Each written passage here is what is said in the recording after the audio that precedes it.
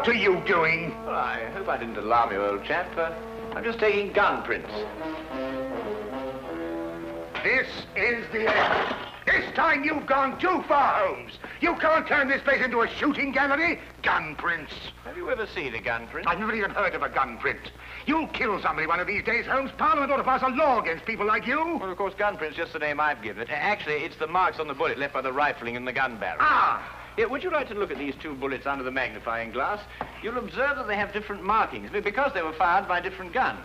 I'm not interested. Not in the least interested. The police will be here in a minute. But you should be interested, Watson. You're interested in saving lives, aren't you? Of course, but Well, look, this little, very little experiment may very well save a life someday. how can firing bullets Now, from listen, here wait a minute. T- take the case of a man who is accused of murder. I'd rather not. The prosecution claimed that the bullets were fired from his gun. They probably were. The man was guilty. I can see it all. Yes, but if it can be proved that it was impossible by the markings, then an innocent man's life can be saved. That's all very well and good, Holmes, but this flat is not the place to conduct these sort of experiments. How would you like it if I started to practice my surgery in the, in the bathtub or on the kitchen Could you, table? uh, could you manage it in the bathtub, do you think? No, I give up.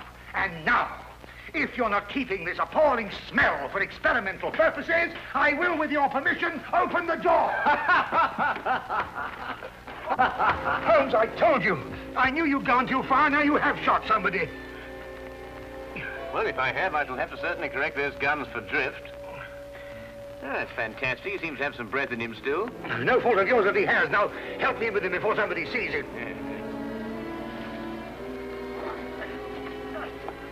Really, firing off revolvers, brewing poison, frightening people. It's more than a man can stand, Holmes. Really, more than a man can stand.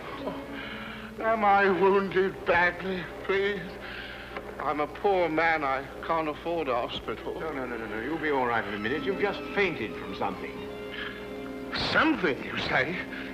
Didn't you hear what happened? I was outside, about to knock at your door, when suddenly I was attacked. Someone turned a revolver loose on me, bullets flying everywhere. I tried to fight back bravely, but there were too many of them, six or seven at least, all firing guns. I'll uh, get you a glass of brandy. Hmm? Oh, thank you. You'd better call the police. They may try it again, whoever they are. Maniacs and foreigners, I'll be bound. No, no, no, no. You're, you're quite safe now. Those shots came from my revolver and were fired into that wadding over there. You mean you were the one who... Yes, I was just carrying out a little experiment. I must apologize for any shock I may have given you. And no one is after me? And not to my knowledge, Mr. Wilson. Here, will you drink this, huh? Oh, thank you. Hmm. You called me Mr. Wilson just now. How did you know that was my name? Well, it's, uh, it's on your collar. Very shrewd indeed, you're noticing my name like that. In fact, you've got exactly the kind of mind that could help me to unravel my mystery. That is, if you're willing to lend a poor man a hand. Oh, yes, yes, yes. I owe you at least that. Uh, what is the mystery? But perhaps you'll get a better idea of what it is if you read this first. Uh, Yeah, it's in, it's in the wanted column. Read it for yourself. Ah, to the Red-Headed League. On account of the bequest of the late Ezekiah Hopkins of Lebanon, Pennsylvania, USA, there is now another vacancy open which entitles a member of the League to a salary of four pounds a week for purely nominal services. Apply in person on Monday at 11 o'clock to Duncan Ross at the offices of the League, 7 Pope's Court, Fleet Street. But what on earth does it mean, the Red-Headed League? It is a little off the beaten track, isn't it? I assure you, I felt the same way as, as you when I read it. A vacancy for what, I asked. I'm a dealer in second-hand merchandise, and I believe in giving value for value received. And it certainly struck me as odd that somebody was prepared to give four pounds a week for nothing. Oh, but young Spaulding took a different view of it. Oh? Who is young Spaulding? Uh, Vincent Spaulding. He's my assistant, and I couldn't wish for a nicer young man. I see. Now, suppose you tell me the story as it happened, right from the beginning. From the beginning? Yes, of course. Well, uh, it all started two months ago when that paper came out. I was in the shop at the time. I'm there practically the whole of my time. I'm a widower and I've got little else to do. When young Spaulding came back from lunch. Mr. Wilson, if you only knew How I wish that I had red hair like you. Huh? Joe, believe it or not, here is another vacancy for the League of Red-Headed Men. A league of what? Red-Headed Men. Surely, surely you've heard of them, haven't you? Oh, I'm afraid I don't get about as much as some of you young people do. Well, I should have thought everyone would have heard of the League of Red-Headed Men. Well, at least everyone who was eligible. Now, a man like you, if he were accepted, could make himself a nice little nest egg without hardly lifting a hand. Vincent, I've told you before, there's one thing you've got to learn in life. Nobody ever gets anything except by the sweat of his brow. Value receives value. What is this Red-Headed League? Take a look at this paper yourself. Ah, how I wish my hair would change color, really I do. What a nice little mistake I'd make for myself. Well, this doesn't make sense to me. No? Will you see the name? Ezekiah Hopkins. Yes? Oh, he was an American millionaire. Uh, very peculiar in his ways. He was red-headed himself and had great sympathy for all red-headed men. So when he died, he left an enormous fortune in the hands of trustees to make life easier for all red-headed men. Oh, really? Yeah, red-headed men. Uh-huh. Oh, but I couldn't apply even if I wanted to. I've got the shop here to look after. Well, that's the whole point. The work don't amount to anything. Absolutely nothing at all. You see, it need not interfere with a man's other occupation. Well, even so, probably millions of men would apply for it. No, this is limited to Londoners and to grown men. You see, this American started off from London and I suppose wanted to do the old town a good turn. And then again, I hear it's no use applying unless your hair is a real fiery red. Hmm. Do you think uh, my hair is red enough? Oh, I've never seen any redder. I could use the money. There's all sorts of repairs I could do, and... Vincent, I'm going to investigate this league. Lock up the shop. You're coming with me. Yes, sir. You're right. It is fiery red, isn't it?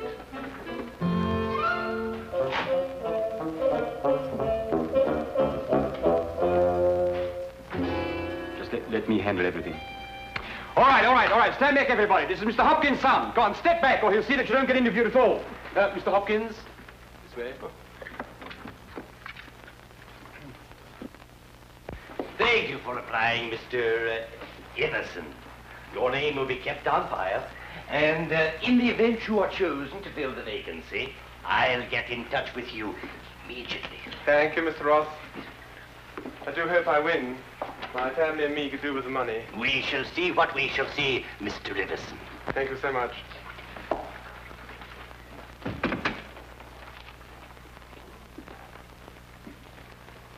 Are you the next applicant? Uh, yes, uh, this is Mr. Jabez Wilson. Uh, your search is over. He's willing to fill the vacancy. Will you sit down, Mr. Wilson?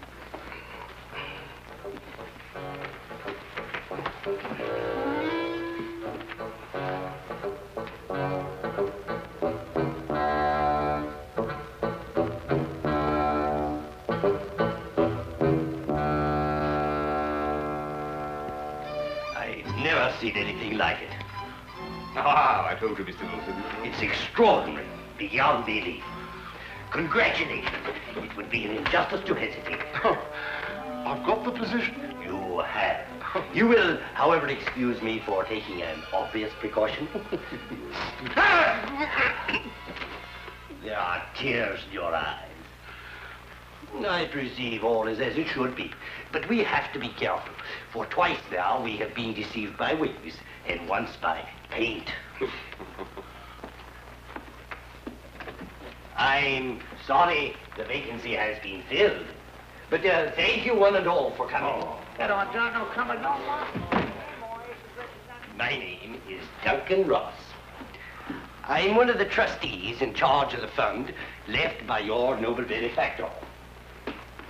When shall you be able to embark upon your new duties? Oh, well, uh, almost any time, I suppose. Uh, though I should mention that I have another business which will require some of my time. Oh, so long as you're free to be here between the hours of 10 to 2, there'll be no objections. Easy enough, Mr. Wilson. Uh, there's very little business during those hours, and what there is, well, I could take care of. Oh, thank you, Vincent. I appreciate that. and what is the work? Copying the encyclopedia.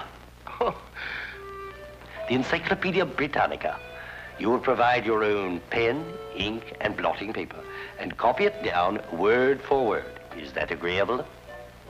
well, uh, yes. uh, Our only demand is that you remain in the office, or at least in building, during working hours. If you leave, you forfeit your position forever. The will is very clear from that point. Well, it's only four hours a day. I, I shouldn't think of leaving. No excuse will avail, neither sickness nor business or anything else. Here you must stay or lose your billet. I quite understand. Then, goodbye, Mr. Wilson. And again, let me congratulate you. Oh, uh, thank you, sir. Thank you. The Encyclopedia Britannica. Ah, you'll do a wonderful job of it, Mr. Wilson. I'm sure you will.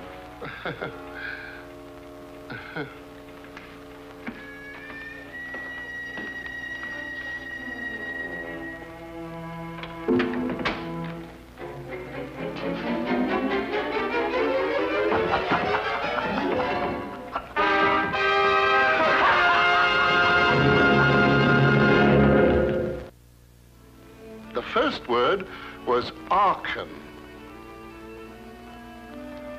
At the end of eight weeks, I'd finished the A's and begun the B's. For this, Mr. Ross rewarded me every Saturday with four golden sovereigns. Yesterday morning, however, I got a staggering blow indeed.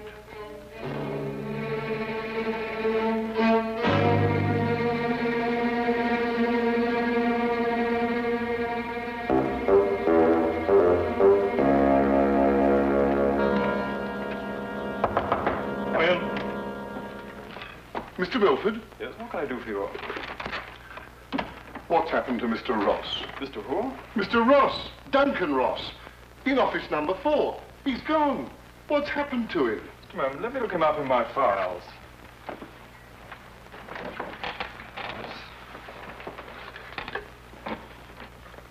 Are you a customer of this, Mr. Ross? I work for him. That is, I did up until this morning. What did you do? I copied the encyclopedia. You copied? The Encyclopedia Britannica. Wouldn't it have been cheaper buying another encyclopedia rather than going to all the trouble of copying it? You don't understand. That's the work the Red-Headed League required me to do. Look here, my good man. If this is a joke, I fail to see the humor.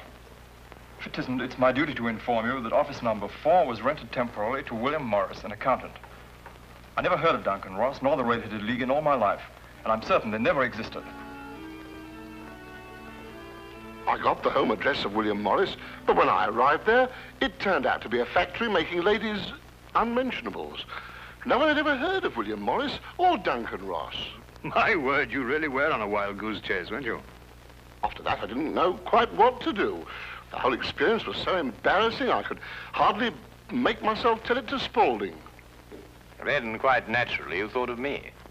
Well, I, as I said before, I'm not a rich man. If I don't locate the league or find out what happened to them, I stand to lose four pounds a week. You don't stand to lose anything, Mr. Wilson. You can't lose something you didn't possess in the first place. And the story is probably a pack of lies in any case. Holmes.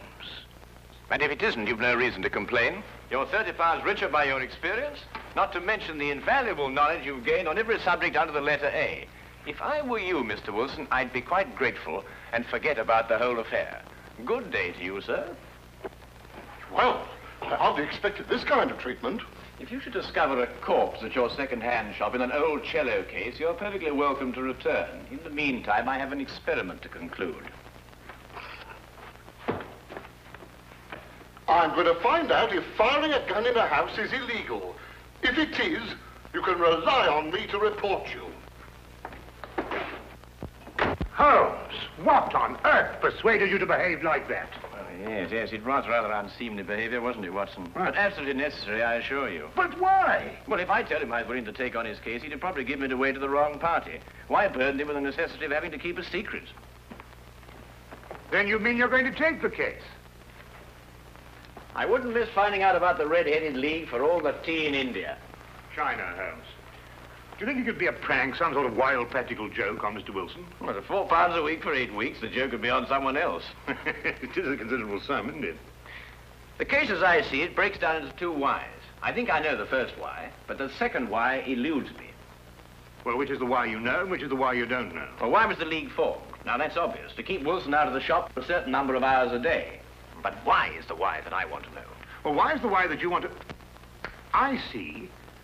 You mean somebody tried to get Wilson out of his shop in order to steal something from him? No, no, no, no. The case is too elaborate to justify stealing from so small a shop as Wilson's. No, the reason is bigger than that. Bigger than any of us might imagine. Now, you're not going to start shooting again, Holmes. No, but I'm going to take this with us. Us? Yes, you're interested in the case, aren't you? I'm a doctor, Holmes. Well, all the better if someone should get hurt. This started out to be such a peaceful morning, and an old friend of mine was coming from India, and we were going to spend the day together. and now look what you've talked us into, the red-headed league. Yes, exciting, isn't it?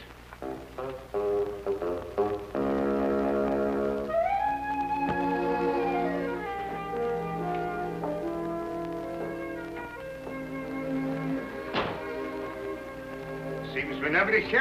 Hmm. I wonder where it could be. I'll be right with you, gentlemen.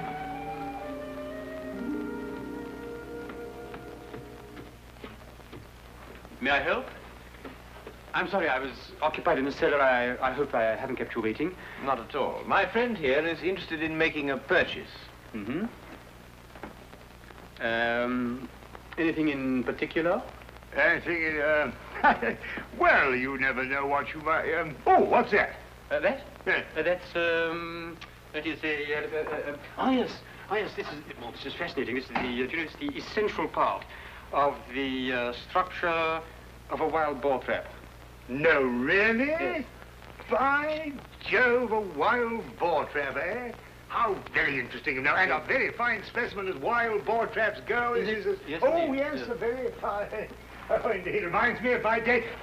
There we were, all lined out in a row, as far as the eye could see. Yes. Down the hill came the enemy, and the Battle of Royal Burnett was on. Yes, if you excuse me. There we were, outnumbered 112 to 1. That was from the count after the battle, as you understand. Yes, yes, yes, I understand perfectly. Uh, Charge, they shouted, as down the hill they came, the hordes of heathen, at 112 to 1. And from that moment I became a collector, and I've been a collector ever since. You understand that, of course. Oh, yes, but that is a quite perfectly natural reaction. It's uh, one o'clock. It's one o'clock. What? Yes, one o'clock. Our engagement with the colonel. Do you colonel? remember? The one who led you in the charge.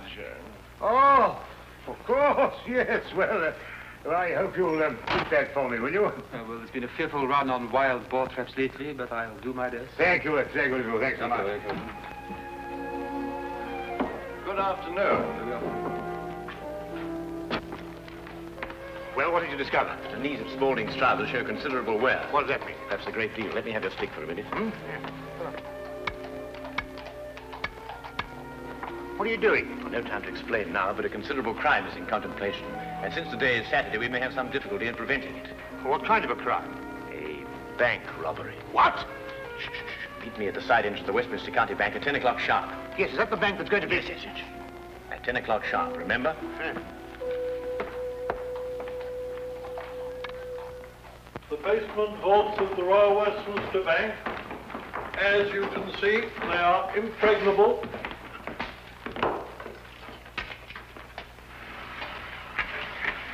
Why are you so sure that the bank's going to be robbed, Holmes?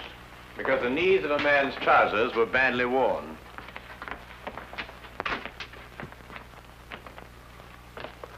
I can't see how they can possibly get in here.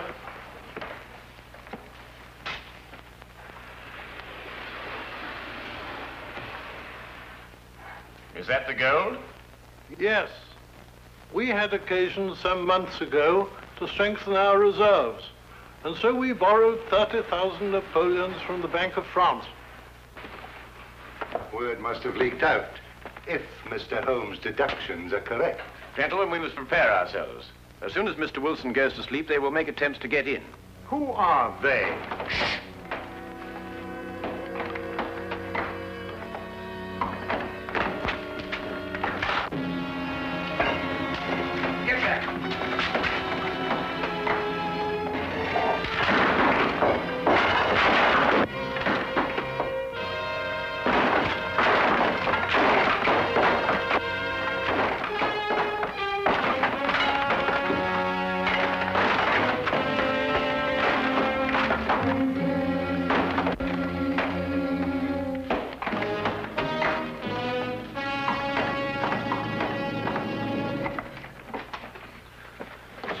Right. Hey, jump! All right. All right, Spaulding, your bank robbing days are over. Ah, so I see. I fancy my pal got away all right, though. Hmm, there are three policemen waiting for him at the other end. Ah, you seem to have done things very, very, very neatly. I must compliment you. But I feel obliged to reciprocate. Your red-headed league was very inventive indeed. Here. You were the one who came into the shop this afternoon. You came with... With me. Ah. I thought there was something very, very queer. You don't look like a collector at all. They helped to collect you, didn't they? I think you'd better come along with me.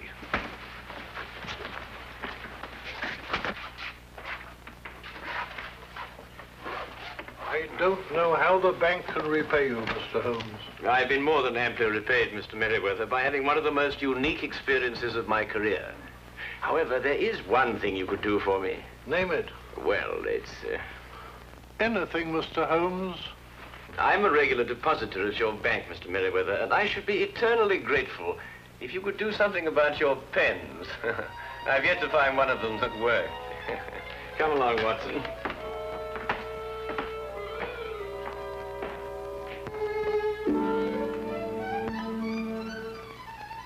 What I shall never understand is how you suddenly knew there would be a bank robbery. Well, if you remember, when we visited the second-hand shop, Spaulding was in the cellar. Mhm. I didn't pay much attention to it at the time, but later on I noticed that the knees of his trousers were badly worn. As if he'd spent some time kneeling, doing some sort of burrowing work. But burrowing where? Perhaps from the cellar to the next building. The moment the thought occurred to me, I whisked you outside and surprised you by tapping on the pavement with your stick. You certainly did. Oh, I'll just go and see who it is.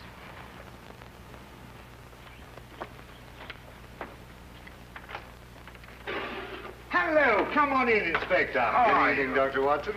I hope it's not too late to make a call. Of course not. Come right on. Well, I saw the light was on, and I just thought I'd drop in. Ah, how are you, Inspector? Now, make yourself at home. Oh, Draw up a thank- chair. Thank you very much indeed. Cup of tea? Yes, please. well, by the time the newspapers come out with a report of your exploits tomorrow, Holmes, you'll be a hero. Well, I shall try and remain humble through it all. Yes, the whole of London. Except, of course, Mr. Wilson. Unless I miss my guess, he wants me still to arrest you. Arrest me? What for? Well, he didn't like the way you treated him last night, you know. And then, of course, he complains that... oh, no, it's too ridiculous. Still, I think you'd enjoy hearing about it. He claims that you were firing a revolver in this house. You know it's against the law, don't you? But who in their sober senses would do such a thing? Yes, it does sound very implausible, doesn't it? yes, that's exactly what I told him. I mean, people just don't do things like that, do they?